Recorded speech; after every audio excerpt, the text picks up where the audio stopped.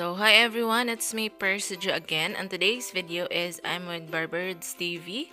And again, uh, mag-gardening na naman kami ngayon. So, nakita nyo, ito po yung uh, unang uh, area.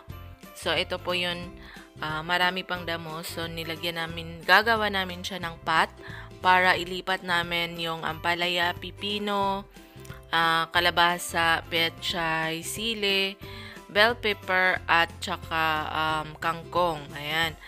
Uh, ilipat namin dito. So, na-ready lang namin muna itong uh, ito, uh, pat. So, uh, kasi nga, gulay is life, no? So, again, uh, may dala akong mga gulay from Pinas. So, sana uh, tumubo siya. Kasi nga, iba yung weather nila dito, no? Malamig.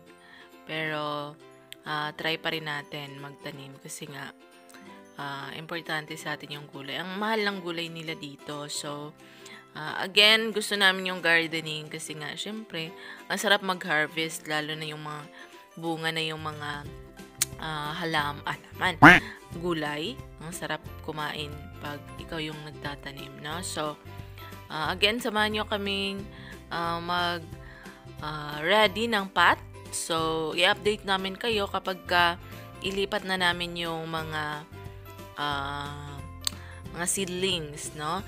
Uh, tumubo na siya actually, uh, pero maliliit pa. So, nag-transfer kami. Kung makikita nyo yung last, fir, uh, yung first namin na uh, videos, yun yung pet chai na tina-transfer namin. Nasa description below. So, maliit pa siya.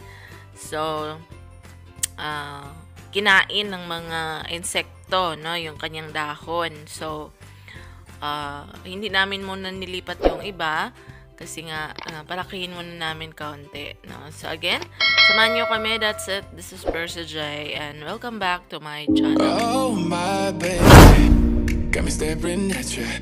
So I'm crazy. Won't you bend that back for me? We won't stop. Got you both love. You get to fly with me